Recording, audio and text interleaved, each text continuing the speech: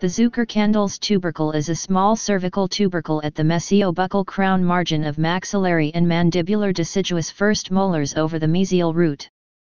It is one of the key identifying features of the teeth. The tubercle is always present, regardless of age or ethnicity. Please subscribe and thanks for watching.